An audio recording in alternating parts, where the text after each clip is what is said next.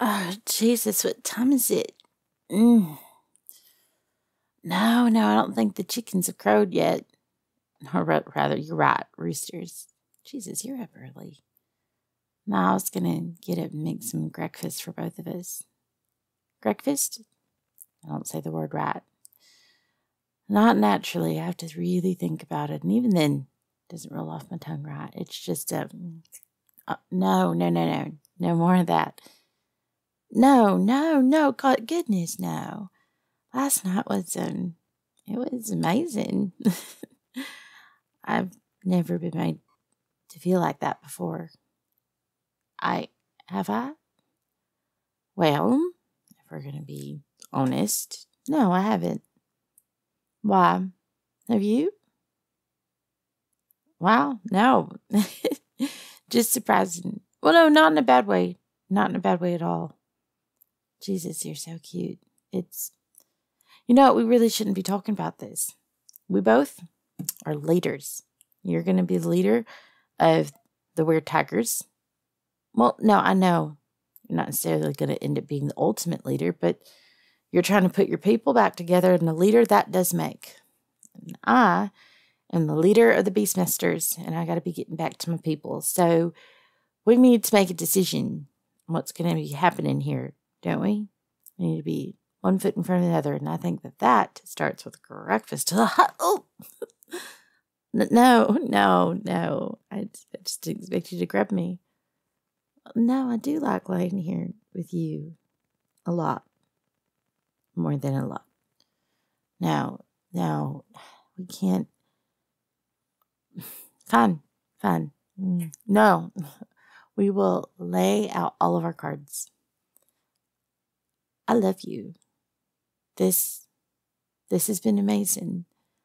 I know that you are everything that I am not. And I know that in the time that I've gotten to get to know you, I've learned so much about me. You know, you, some people would see you as wrathful, angry, uncaring, but I see it as passionate to the point of extremes. Either you are going to give your life for something or you're going to tear it apart because it threatens the things that you'd give your life for. You would do absolutely everything for those that you love. And you don't worry about what the other side would do, say about it. You follow your heart in ways that I don't know I have the strength to. Well, I wouldn't say I'm all that logical. You care about yourself in ways you don't see. You say you don't. You say you have low self esteem. You don't care about yourself. You hate yourself, even if it's not true. You care so much about yours and what you deem to be yours. And once you find something that is yours, you throw yourself wholeheartedly into it. Whereas me, I don't know. We're the same coin, just opposite sides. I care more about the people around me. Everything else because thinking about caring about myself. You would give your life for those you love, and I would give my life to have love. For me, sacrifice is a way of calling the things that I want in my life to me. You sacrifices protecting the things that you want to continue living after you those things already with you. That's beautiful. I love you. I will always love you. I will love you until the end of time. Until really, when time has a new definition, I'll still love you. But it goes back to what we were talking about before we laid together last night.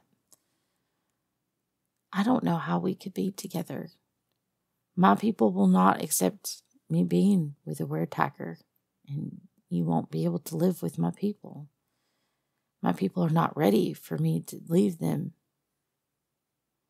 And while I'm so used to giving love to absolutely everything around me and praying I'll get some back, That's not true. I do get it back. That's not true. You don't know that. You don't. You. You do not know that. No. I get it back in other ways. You know, kind words. People tell me I'm awesome. People tell me I'm amazing and they thank me. Fine. All right, let's define love then. Hmm? The ways that I prefer to have love back is just by having people remember me and talk about me kindly. And when it gets back to you, you're like, wow, okay, so I'm a good person. What is love for you? well, no, that sounds lovely. I do love looking in your eyes. I do like being around you. Ignoring everything. How do you ignore everything? You, you don't know what it's like being a abuse master. There's voices in my head of everything around me. I can sense everything's emotions, everything's feelings, and I have to find a way to compartmentalize all of that while also compart- feeling what I think I actually feel independent of all the other data points that come into me. Yeah, some people call that empathic, maybe.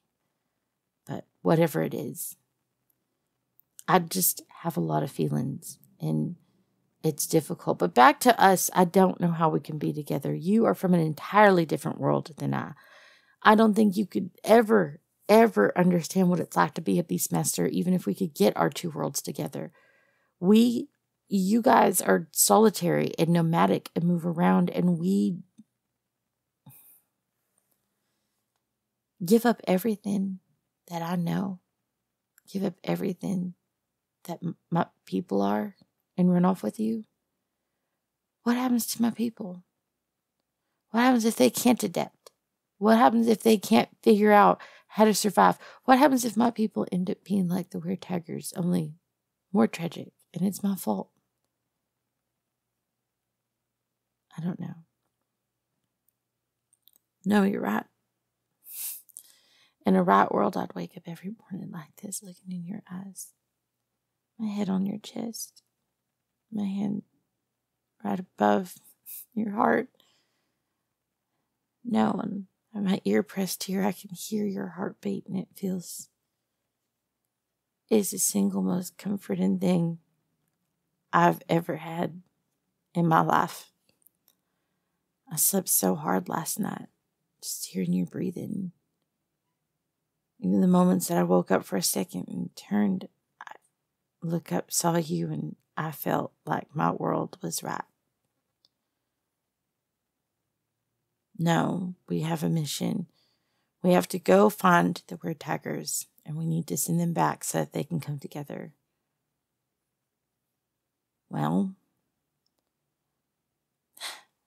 really, you think you can put that challenge on me? I mean, the chances are next to nothing. They're not going to accept us being together. And what about your weretigers?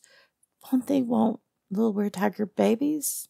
We can't make that. I don't even know what we'd be making. We'd be making some sort of weretiger uh, Beastmaster hybrid that could hear everything that all the animals are, but they can transform. I don't even know if that's possible. I don't know what we'd be doing. Well, that's not fair. There's pl- there's plans in this world. There's everyone has a role and everyone has a way that they're supposed to be moving. And that's what we should be doing, is it not? Okay. No, you're right. Okay. Fine. We'll just do what the world. You're. Well, now who's teaching who life lessons. So you think we should just let the world be the world, be together, and figure it out, and just leave everybody else on their paths to figure it out. Okay. No, we'll try it your way. If my people rebel, if my people lose it, then what do we do?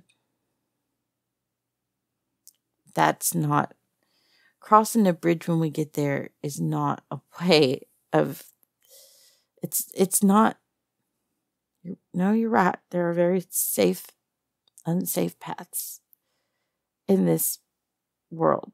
There's no set paths. There's just i can't think right now. You're putting so much pressure on me. You don't know how badly i want to be with you okay? Fine. I'll stop trying to be tough. I'll stop trying to just put my emotions to the side and i will just fine I want to be with you. And you're right. If my people won't accept it, if your people won't accept it, then I don't know what that's going to mean. I don't know what else to do. But you're right. This isn't the time to be scared. This is time to just do what we do. And, all right. No, you're right. Let's go. Let's go, shall we? All right. Let's go find these weretigers. Let's go back to take them all to the base and have them spread out and organize them and have them go find any of the other lost ones. They're going to want to build a base and follow that plan, anyways, even if they're mad at you for being with me. And who's to say we have to even tell anybody? They don't have to necessarily know. We can figure out whatever this is at our own pace. You're right. You're right. You're right. No. Thank you. I just felt like I was trapped all these years. I was raised to be the leader. I was meant to be the leader.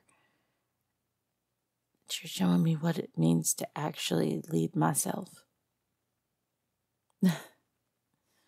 all I did was try to get you to calm down and look at some alternate alternatives. Seems like you've done the same thing for me. It's all gone full circle. I don't know what's going to come of this life, but I know I want to do it with you. Mm. I, well, I think that's definitely going to work up in habitat, but I think I can, um, I think I can oblige. Hmm.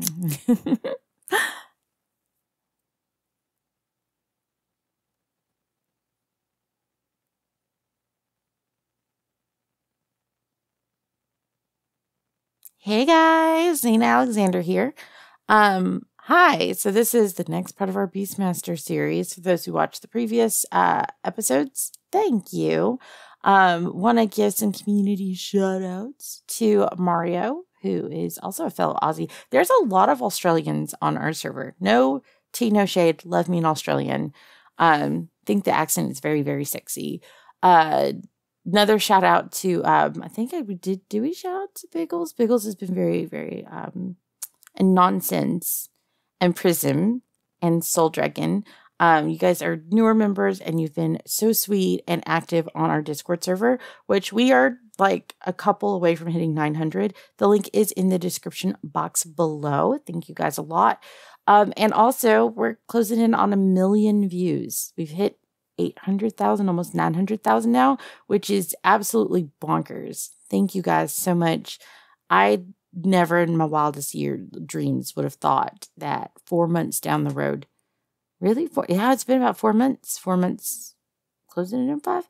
We would hit that. That's like 200,000 views a month. That is insane. I can't even fathom that. And honestly, most of those views have been coming in the last month. So um, I can't thank you guys enough. That means the world to me. Um, and then I, I know I was supposed to do a cake for my 10,000. The cake person that was supposed to do it never got back to me. And um, that's a deposit gone. Um, so I'm ordering from another cake place, and instead of just ten thousand dollar, uh, I was sorry, ten thousand, not dollar, ten thousand celebration cake, it'll be ten thousand and one million views. So hopefully we'll be posting that in the community tab soon. Thank you guys who have really helped me get there. That is incredible. Um, so uh, inspiration for this story. Um, I had a huge crush on a guy that is um, that that had a very angry side to him, but it was very tender, soft, and sweet. Um, and really, I like there's this lyric by uh, Terence Trent D'Arby called "I Guess You Heard My Heartbeat Through the Noise." Love that song. Uh, it's called Holding On to You. I love that line. And really, this whole storyline reminds me of that was hearing someone's heartbeat through the noise, someone who just is has a certain personality type, but that's not who they are. It just takes someone to really be able to see why are they that angry? Why are they that scared? And really a lot of times when people are angry, they're scared. So I was pulling upon that emotion that I get from that person. And also, um, recently had someone tell me that I'm empathic, which a lot of people tell me that actually they say like I naturally can like feel other people's feelings and I tend to get overwhelmed by it. I don't know how much I feel about whether or not empathic stuff is true or not, but I figured I would put that into this this character since I get told it a lot and again wanted to uh, continue on from the story where they were finally together and they let loose because honestly as much of his free spirit as I talk about being, especially if you're on Discord and we're in voice chats and whatnot, and I am pretty much a free spirit, there's a lot of things that I feel like I'm kind of locked into doing. And there have been um, several influences in my life that have made it made me realize I'm allowed to cut loose. I'm allowed to be free. I'm allowed to be me. And just because like I was born into this family, but just because I have this certain talent, just because I chose this job or I have these skills, or because I befriended this person does not mean it does not lock me in to a certain set of circumstances of who I have to be. And I think that's just a good thing for us all to remember. Like, if you are not happy with your current situation, it does not matter that you're born into this family, that you have this friend set, that you're born into this country, this city, whatever. If you are not happy, you need to chase your happiness. And um, yeah, so that's kind of kind of the story that Beastmaster's turning into is learning to calm down, learning to like look at there's multiple different reasons why things could be going on, but also chase your happy, pursue your happiness. Anyways, I'm Beblin. I love you guys. I will see you in the next one. Bye.